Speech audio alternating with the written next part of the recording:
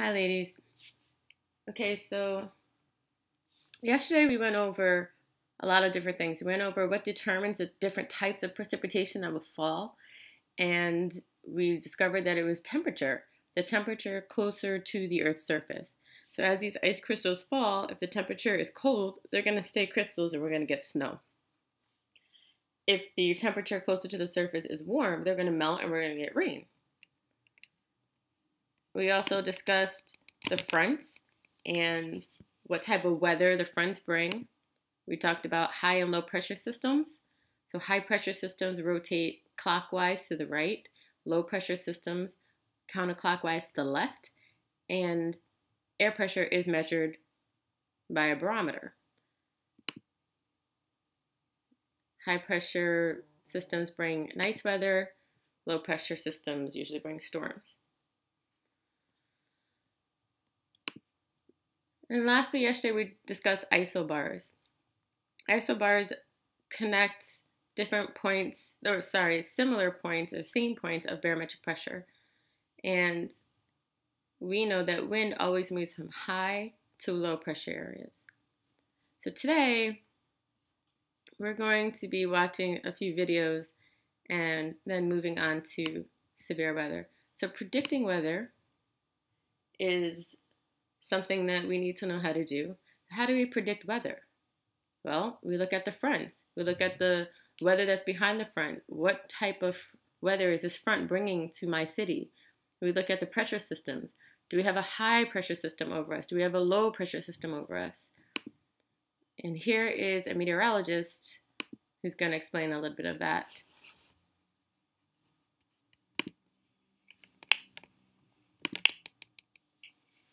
I'm meteorologist Ryan Davidson. I'm actually Elizabeth's mom's cousin, and I work here at the Weather Channel. And uh, I hear you guys are learning about weather. So, we're going to talk a couple of things about weather systems and fronts and kind of how those all come together to make weather. And then we'll talk a little bit about your forecast. So, first off, we're going to talk about understanding what goes on in a weather map. So, first, we've got cold air, and as it pushes further to the south, along the leading edge of where that cold air is advancing, is where we would set up a cold front. And that's going to be this blue line here with all these triangles, and they point in the direction that the cold front is moving. Now, on the other side, we have a warm front. When you have a mass of warm air moving northward, or in any direction, the leading edge of that warm air mass is where we draw this warm front, which is going to be the little red line with the half circles best way to remember it is they're like little half suns, so they're always denoting warmer air. You kind of work it out that way, where sun, warmth, warm front, right, like that. So that's how we denote where a warm front lays. Now, when we start moving and adding in things like pressure systems, we have a low pressure system right here. And air around a low pressure system moves counterclockwise and inward. So when we start putting those air masses around that area of low pressure, we begin to see just a few things happening here. The warm air surging northward, that's where the warm front is. The cold front surging southward, that's where we line up that cold front. And then we zoom in closer, where we get all the precipitation. What's going to happen here is you've got this air coming down from the north, and this air kind of going towards the north and east, what happens is this piles up as it gets close to this warm air mass and it starts to lift. So where these meet, all that wind meets, we call that convergence, the meeting of air. When it happens, it starts to go, it has nowhere to go, so it has to go up. Once that starts going up, that's where we start to get clouds and rain. And usually along the cold frontal side of a storm is where we'll see things like thunderstorms. But on the warm frontal side, over to the north, that's where we'll start to see just broad areas of rain and showers and cloudiness. And as that comes through, well, the weather gets a little bit cooler. Now, high pressure, a little bit different. High pressure systems, air goes clockwise and outwards from an area of high pressure. So why don't we ever see any rain or anything near an area of high pressure? When you have all of this air moving outwards, it's actually like if you were going to turn the hose right on the ground. What happens is that water goes down and it spreads out. You don't have any lift, so you don't have anything to create that upflow of moisture to create any precipitation. So usually when we talk about high pressure, we talk about nice weather. But let's take a look at what your forecast is looking like as we go through the next couple of days. We're going to be looking at a little bit of rain. We've got a couple of fronts to the south. Here's our warm front. See the red with the half circles. That's going to come northward. And We're going to see a little bit of rain in eastern and central North Carolina as these low pressure systems and their cold fronts and warm fronts move along the eastern seaboard. Then by Wednesday, we'll see maybe a little bit of rain in Raleigh, but it quickly moves out and we start to see some high pressure move in. How do we know? Well, we don't see any weather going on here by Thursday, and that'll stay the same even as we head into Friday. Things kind of clear out, but the next weather system comes on in. We start to see some rain heading in portions of western Tennessee and portions of Mississippi. So here's what comes up for Raleigh over the next Okay. five days. We don't We've live got in rain Raleigh. on Wednesday. So we don't need that. All right. So the next one I want to show you is a BrainPop. And that is on severe weather.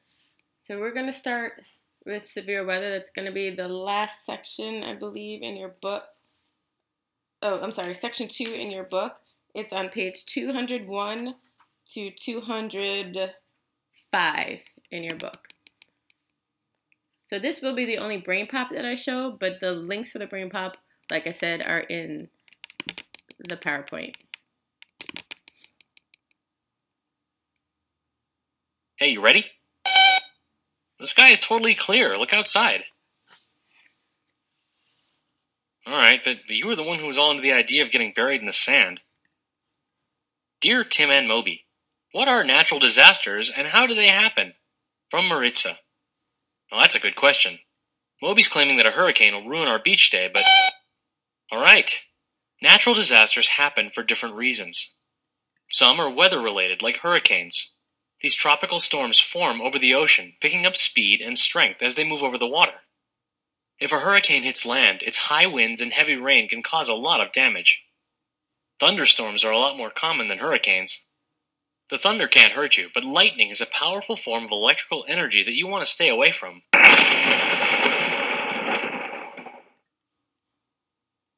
I think we're pretty safe from lightning in the house.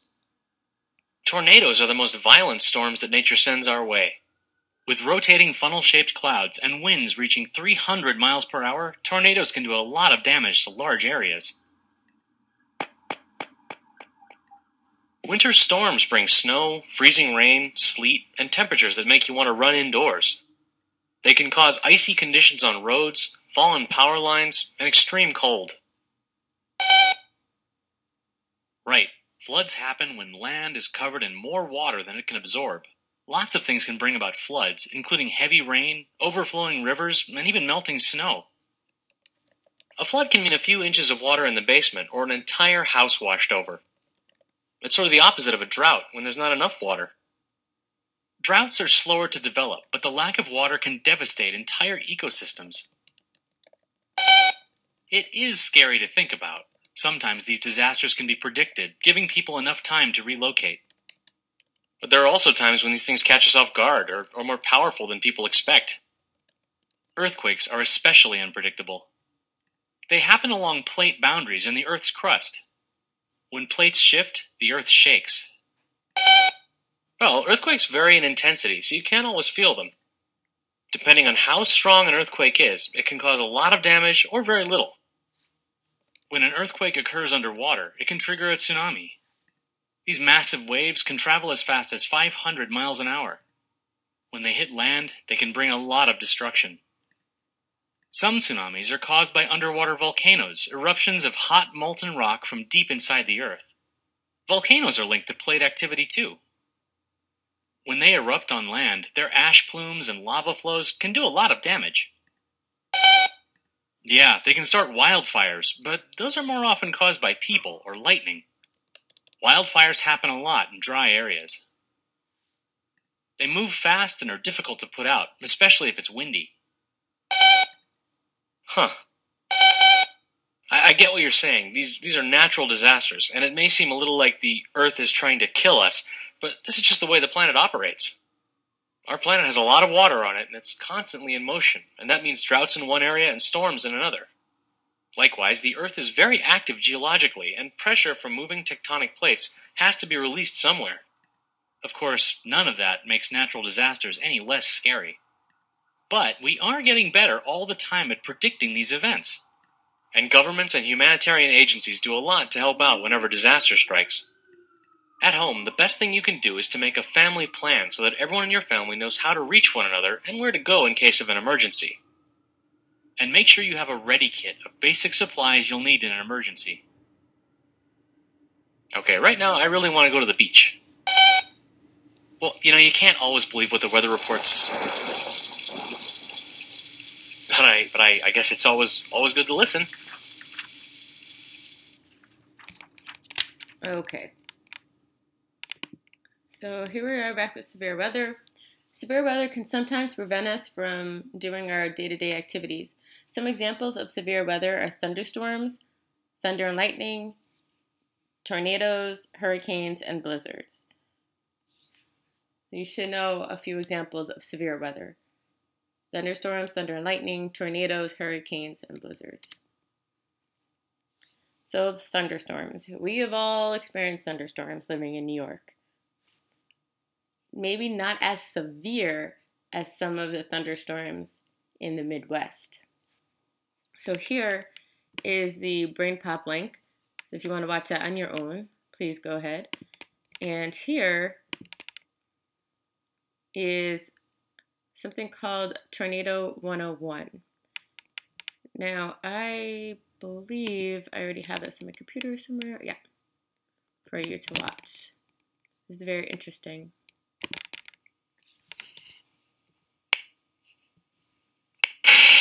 Tornadoes. shape funnel-shaped clouds that can rip through a community and leave a wake of destruction. They can form in seconds, change direction in a heartbeat, and their devastation can last a lifetime. Exactly how and why tornadoes occur is still a bit of a mystery, but an indication that one is forming is a wall cloud. Fast moving winds roll air below into a horizontal vortex above opposing surfaces, similar to a spinning tube. Warmed by the sun, buoyant air near the ground begins to lift a section of the horizontal vortex into a vertical position. The vortex extends toward the ground. As it picks up speed, anything in its path can be ripped apart or thrown in the air. Upper level winds tilt the rotating updraft called a mesocyclone. This allows the storm to keep growing as warm air is sucked into the storm away from the cool downdraft. The vortex spins like a top, sometimes up to 300 miles per hour. And while some tornadoes move slowly, others can travel over the ground at speeds of over 110 miles per hour. The widest tornado ever recorded, the May 2013 El Reno tornado in Oklahoma, was 2.6 miles across. That's wider across than Manhattan. Has allowed us to identify the essential ingredients needed for twisters to form in the U.S. Warm, moist air, typically from the Gulf of Mexico, cool air, typically from Canada, and dry air, typically from the Rockies. When these air masses collide, they create the perfect conditions for a tornado. Nearly three quarters of the world's tornadoes occur in the United States, and the peak season is between May and June. A majority touch down in Tornado Alley, a section of the central United States, but tornadoes have been recorded in all 50 states and on every continent except Antarctica. Tornadoes are very dangerous, and you should never underestimate their power.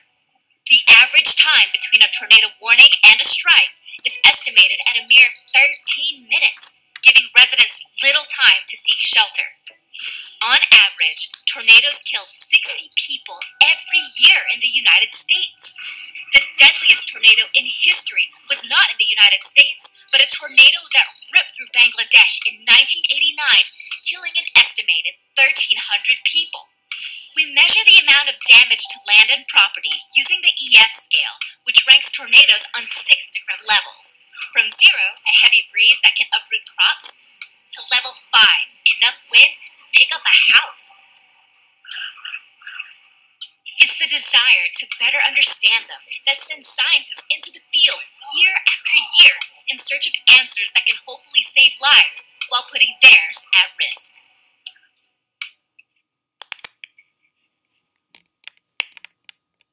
All right. So, thunderstorms. What we need to know about thunderstorms. Why are they severe weather? Because they bring heavy rains, flash floods, thunder and lightning. Well, thunder is uh, just kind of scary. It's noise, but the lightning can cause fires. All thunderstorms form in cumulonimbus clouds. So I told you before, we've already learned that cumulonimbus clouds are known as thunderheads because of this reason. So the rain can be so fast and furious that the ground can't soak up the water in enough time, and that's what causes these flash floods. The flash floods will loosen the topsoil, and trees can fall and crash into houses and on cars and on people. Strong winds can be generated from thunderstorms that can also damage properties, uproot trees, things like that. And hail. So, hail from thunderstorms can dent cars, dent the houses, break windows, and in some severe cases, will kill people if it lands on them.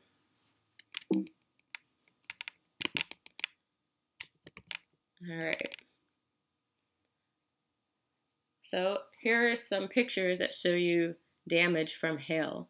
This right here is the windshield of a car, the back windshield and the front windshield, and you can see how the tree was uprooted here. It's very crazy with the damage, and hail can range in size from very tiny to eight inches across. Eight inches across is almost as big, it's bigger than your hand from the bottom of your hand to the top of your middle finger.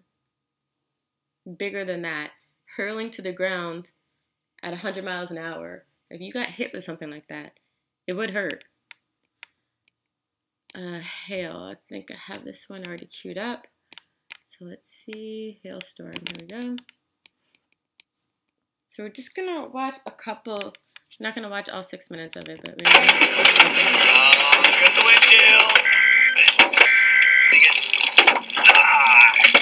Hailstones crash through windows. They shred trees and crops, pummel livestock, damage roofs, wreak havoc on cars and everything underneath its wrath.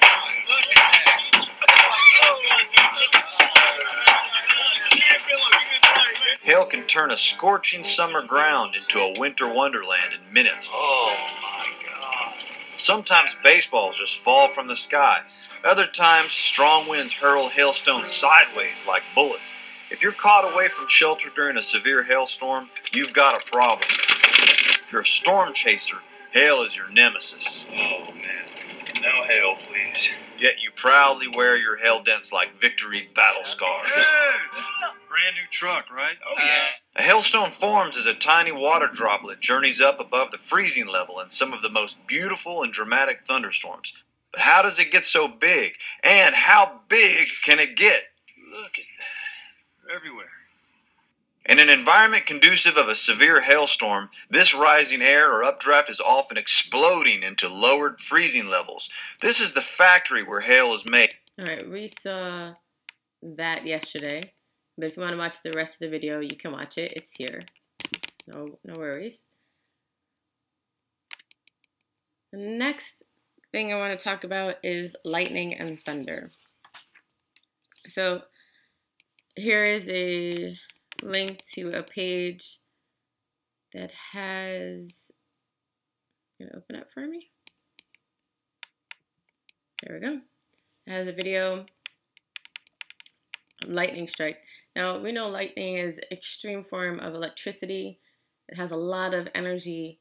If it hits you, you could die. You don't always die, um, but it travels through. It can travel through water. So when lightning is happening, you don't want to be out in the rain. Electricity travels through water, and you also don't want to be out in a field. So here are some examples, I think, of some lightning strikes. See if I can get it.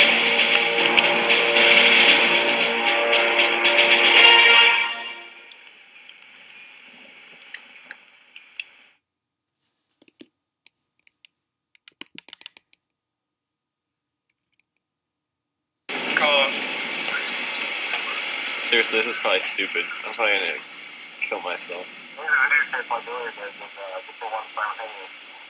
Oh man. Some of these are like right over this now. Oh, jeez. Alright, if I die, tell my family I love them. Oh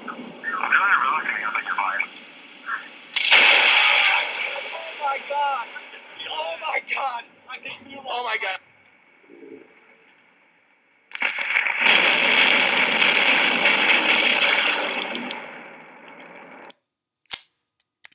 Crazy, right? Definitely don't want to be hit by that.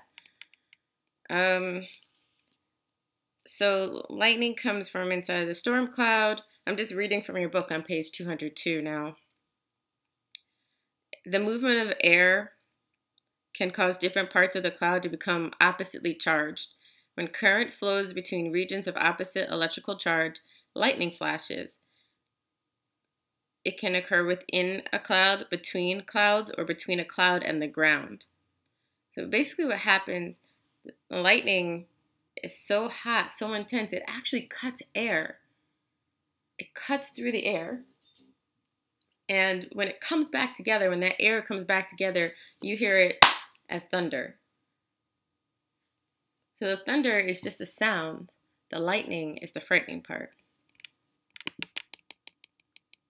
And then last we have tornadoes. So I have again a BrainPop about tornadoes.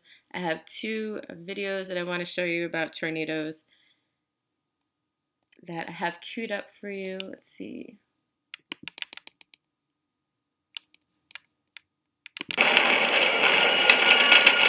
On April 29, 2017, multiple tornadoes would touch down east of Dallas, Texas, two of them deadly. I've got a woman. I'm taking her to the hospital. A stationary boundary positioned over the town of Canton would serve as a track for tornadoes to train down, one after another. Man, it's heading right for town. For the folks in Canton, the nightmare was never ending. Oh my god, those people gotta get out of here. Those people gotta get out of here. They're gonna die. For a veteran storm chaser, the third and largest tornado of this family was the scariest tornado I've ever witnessed. Oh man, this thing is moving fast. All right, I'm gonna skip forward here. Tracking highly visible tornadoes over open land is more mesmerizing than scary. A clear road. So this is a tornado that is a mile wide once it Dude, touches down on the ground. You can see the spinning air, Run. and you'll see a funnel Okay. touch the ground.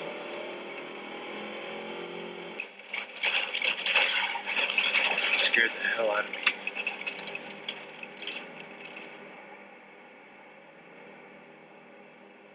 Oh, it's coming fast. Gotta go. And tornadoes can move slow or fast, and they can change direction on a dime. You might think they're going away from you, but they can turn and come straight forward towards safely you, here. and quickly. A little too close. The winds are can pick up cars, buses, houses. So of course they can pick up people. See that tornado right there? That is a mile wide. Anything it's touching right now, it is destroying. If people have not got shelter, they have a problem. You can hear the rain or the hail, I'm not sure what that is, hitting his car. It's heading right for town. At this moment, a wedding venue is being overrun with 20 people crammed in an interior bathroom. After the mile wide tornado passes, it will be the only room still standing. Everyone will survive. Here we go. There were three tornadoes that happened at the same, the same time. Or the same day. Look how big this is. Look at those clouds. Oh my god.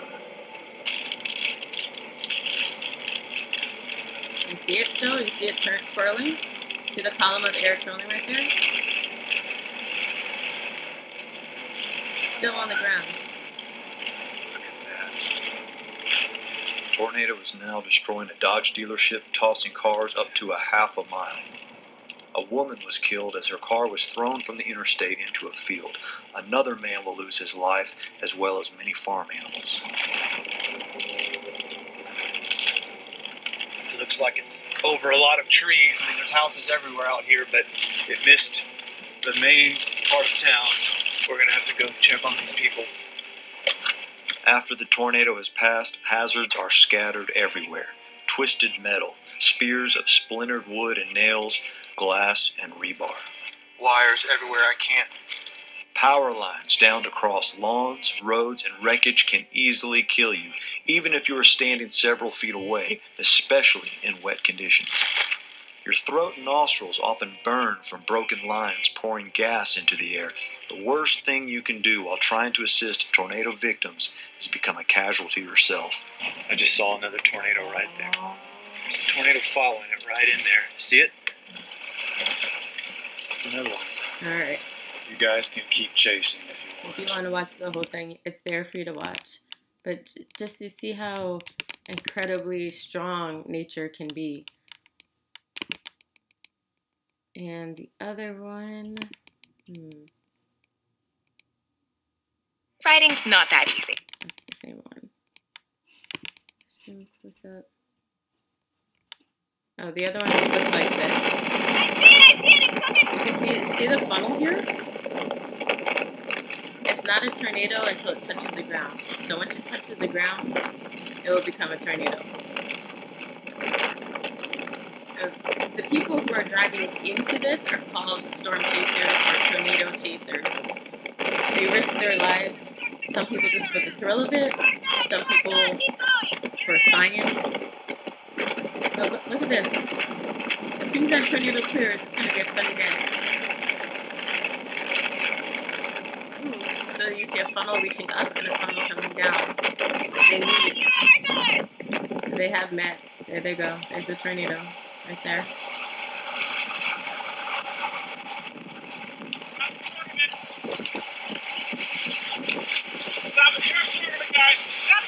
Now you can start to see debris flying around in the wind. They look okay.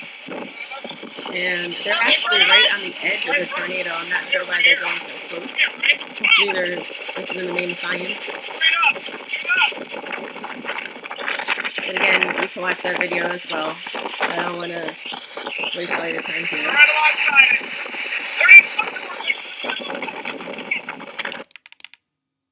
And then we have hurricanes. This is a BrainPop on hurricanes.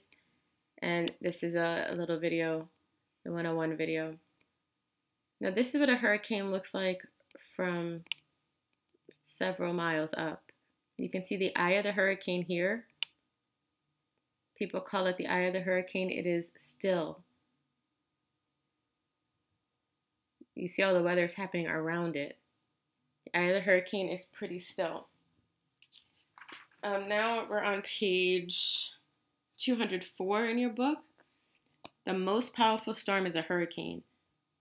Is a large, swirling, low pressure system that forms over the warm Atlantic Ocean. For us, is the Atlantic. If you're on the other coast, it'd be the, the Pacific.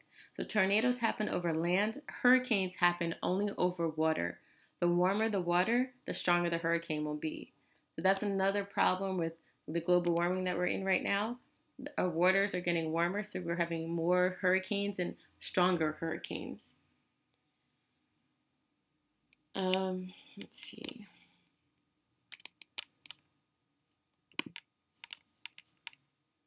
So here is, I'm going to link this up for you to watch. on your own. Cyclone, typhoon, hurricane. All of these hurricanes are unpredictable. But scientists have a thorough understanding of how hurricanes form and sustain their power. All right, so you can watch that on your own. But we've all we're all familiar with hurricanes from you know, we hear about them in Florida a lot. We've got the tail end of the hurricane. We usually get the rain that comes with the hurricane. But we've never actually had an eye over us. Our ocean water is too cold for the time being. Blizzards. You have lived through a blizzard. There's a blizzard of 2016 that hit New York. And really, what a blizzard is, it's high winds and snow. High winds and snow, you got a blizzard.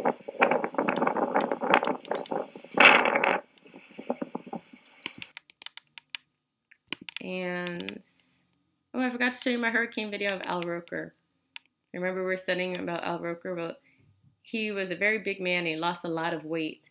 And uh, people were making fun of him because he ended up falling in this hurricane. And people said maybe he should oh have kept gosh. the weight on. It's like gone. It's way better. Good. They were saying maybe you should have kept the weight on, just teasing him. 24th, 2005. A Category 3 hurricane named Wilma shows off the incredible force of its wind. In fact, NBC's Al Roker is knocked right off his feet. Live shots for the Today Show are usually Roker's beat, but this day, he gets beaten up. It's left to the cameraman to keep Roker from blowing away. Don't you wish you had your weight back? Right about now, I do. Oh! It's Roker versus Wilma. But That was Wilma's really wins just to show you how strong these winds can be during a hurricane, even a tornado, how strong they can be. All right. And then lastly is weather safety. When there is some type of severe weather, the National Weather Service will issue a weather warning and tell you what to do. So you listen to your TV, your radio, and find out what you're supposed to do. Now we have our cell phones, so there'll probably be some kind of alert. When severe weather hits, make sure you're prepared. All right? So, of course, you're going to have a homework for this uh, slideshow.